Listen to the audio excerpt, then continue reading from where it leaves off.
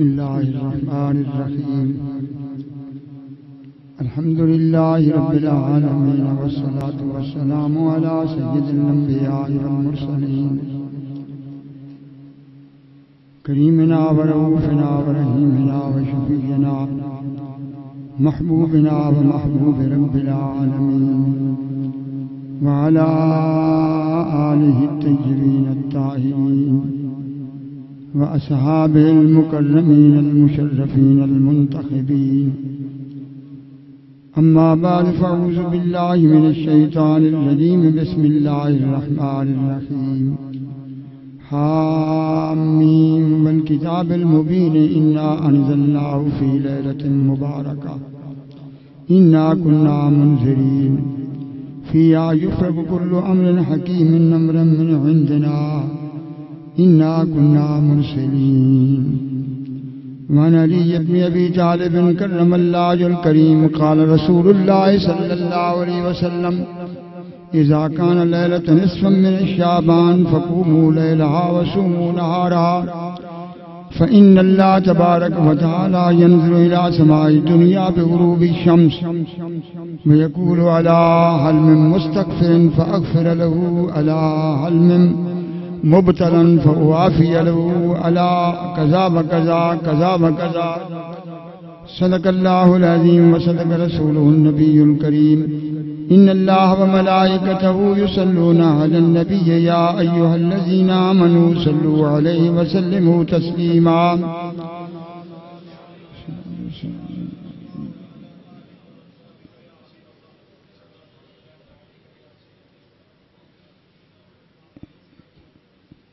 سورہ حامیم دخان ہے۔ قرآن کریم کی یہ پچیسویں سورہ مبارکہ اس کی ابتدائی آیات ہیں۔ ترجمہ اور اس کے منافق تشریح و تفصیل کے بعد حدیث کی روشنی میں میں عرض کروں گا۔ حامیم بالکتاب المبین۔ یہ حامیم حروف مقطعات کہلاتے ہیں۔ ایک حرف ہوتا ہے، ایک لفظ ہوتا ہے۔ حرف اکیلا ہوتا ہے۔ جیسے الف ہو گئی بے ہو گئی تے ہو گئی، یہ یہ حروف کہلاتے ہیں۔ اور ان کا مجموعہ ہو جائے تو اسے لفظ کہتے ہیں۔ جیسے ہے میم دال مل گئی تو حمد بن گیا۔ حمد لفظ ہے اور ہے حرف ہے۔ میم حرف ہے۔ دال تو یہ قرآن کریم کی بات سورہ مبارکہ میں ابتدا میں یہ حروف اللہ تعالیٰ نے قرآن کریم میں ارشاد فرمایا والذی انزل علیک الکتاب اے محبوب، اللہ نے تو پر کتاب نازل کی جس کے دو حصے منہم محکمات ہن۔ اس میں کچھ تو محکمات ہیں جو ام الکتاب ہیں۔ وہ چیزیں ہیں جو واضح ہیں، جو ظاہر میں سمجھ آتی ہیں۔ شریعت کے احکام ہیں، فرائض ہیں، واجبات ہیں۔ تقوی سے تعلق رکھتی ہیں، صفات الہی کا تذکرہ ہے، عظمت رسول کا تذکرہ وہ محکمات ہیں، وہ اخر و متشابہات۔ اور اس کے علاوہ متشابہات بھی ہیں، ان متشابہات کی قسم میں سے۔ یہ حروف بھی ہیں جو صورتوں کے شروع میں آتے ہیں۔ ان کی دو قسمیں ہیں۔ متشابہات کی۔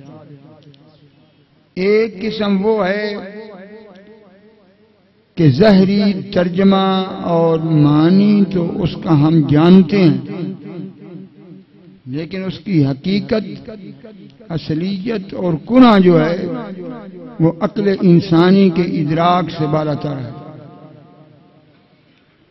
جیسے اللہ تعالیٰ قرآن کریم ارشاد فرماتا ہے کہ سمستوا علی العرش کہ زمین و آسمان کی تخلیق کے بعد اللہ تعالیٰ نے عرش پر استوا فرمایا۔ مستوی ہونے کا لغ ہوئی معنی تو یہ ہے کسی جگہ متمکن ہونا۔ لیکن اللہ تعالیٰ اس سے پاک ہے کہ وہ کسی مکان میں یا کسی صورت میں۔ تو ظاہری لفظ تو استوا کا معنی ہم سمجھ سکتے ہیں۔ لیکن کس طرح مستوی ہے؟ یہ ہماری عقل سے بالا تر ہے۔ امام مالک رحمت اللہ علیہ سے کسی نے سوال کیا تھا کہ استوا العرش کیا ہے؟ کہ اللہ تعالیٰ عرش پر کس طرح مستوی ہے؟ تو آپ نے فرمایا کہ المان بھی معلوم۔ یہ قرآن کی ایت ہے اور اس پر ایمان لانا حضور سے صحابہ تک ثابت ہے۔ بکیفیت ہو مجہول اور اس کی کیفیت تک کوئی نہیں پہنچ سکتا۔ وہ سوال انہ بدت اور اس کے متعلق سوال کرنا بدت کیونکہ کسی صحابہ نے سوال نہیں کیا۔ اسی طرح اللہ تعالیٰ فرماتا ہے کہ ید اللہ فوق ہے کہ اللہ کا ہاتھ ان کے ہاتھ پر ہے۔ اس کا معنی ید ید کا معنی ہاتھ ہے۔ یہ ظاہری ترجمہ تو ہم کر سکتے ہیں۔ لیکن کیسے اس کا ہاتھ ہے وہ اس سے پاک اس کی حقیقت کا ادراک ہم نہیں کر سکتے۔ یہ ایک قسم ہے متشابہ۔ یہ میں تقریر کر رہا ہوں کہ آپ کو ان حروف کا پتہ چل جائے گی، یہ باتیں آپ کو کوئی نہیں بتائے گا یہ ایک قسم ہے متشابہات کی۔ اور دوسری قسم متشابہات کی وہ ہے کہ جس کا نہ ترجمہ کیا جا سکتے، نہ حقیقت سمجھی جا سکتے وہ اخر و متشابہات جو قرآن نے کہا نا کہ محکمات آیات اور اس کے ساتھ متشابہات ہیں، تو متشابہات کی دو قسمیں ایک یہ ہے کہ زہری لفظ کا معنی معلوم ہو، حقیقت معلوم نہ ہو سکے۔ جیسے میں نے مثالیں دی۔ ایک یہ ہے کہ نہ زہری ترجمہ اور معنی معلوم ہو، نہ اس کی حقیقت معلوم ہو۔ وہ یہ حروف ہیں جو صورتوں کے شروع میں ہے حام، میم۔ حام، میم، عین، سین، قاف۔ قاف، نون، والقلم۔ تاسین میم تاسین یہ صورتوں کے شروع میں ہیں۔ تو امام بیزاوی نے یہ ساری بات جو میں نے مختصر کر کے پیش کی ہے، نقل کرنے کے بعد خوبصورت بات کہی کہ متشابہات جن کی حقیقت نہ سمجھی جائے یا وہ حروف کہ جن کا معنی بھی سمجھ نہ آئے ہے یا سرم بین اللہ و رسول ہی اللہ اور اس کے رسول کے درمیان راز ہے۔ اگر کوئی کہے کہ اس کا کوئی بھی معنی سمجھ نہیں سکتا تو نہایت احمق ہے، کیونکہ اللہ تعالیٰ جو قرآن نازل کر رہا ہے، جس پر نازل کر رہا ہے، اگر اسے بھی اس کی سمجھ نہیں ہے تو نازل کرنے کا کیا معنی؟ الرحمن علم القرآن۔ رحمان وہ ہے جس نے قرآن سکھایا۔ معلم اللہ ہے، سیکھنے والے محبوب ہیں۔ اور قرآن سارا کہا کہ سکھایا۔ یہ نہیں کہا کہ محکمات سکھائے اور متشابہات نہیں سکھائے، فرما پورا قرآن سکھایا۔ اور اگر قرآن میں متشابہات بھی ہیں تو محکمات بھی ہیں، تو تمام علوم اپنے ظواہر کے ساتھ اور باطن کے ساتھ سینہ مصطفیٰ میں جمع ہے اور خزانہ ہے۔ اس لیے یہ اللہ اور اس کے رسول کے درمیان راز ہے۔ ان کو نہ کوئی مولوی سمجھ سکتا ہے، نہ پیر سمجھ سکتا ہے، نہ جبریل سمجھ سکتا ہے۔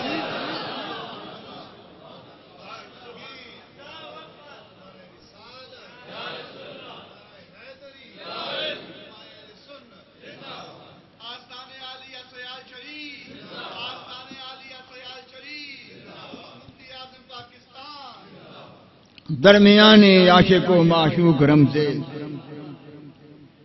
یہ اس لیے یہ دعوے نہ کیا کرو کہ ہم نے بھی سارا قرآن سیکھ لیا اور پڑھ لیا۔ تم کیا سیکھ سکتے ہو؟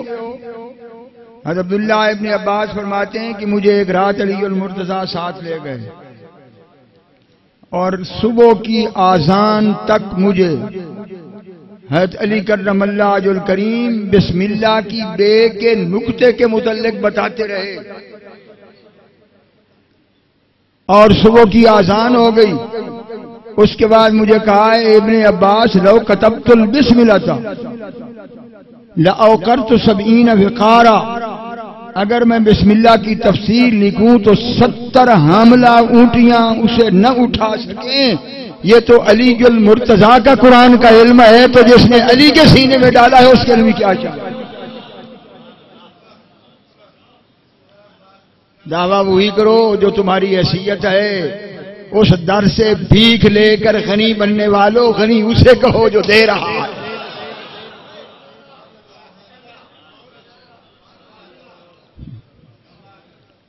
حامیم بل کتاب المبین۔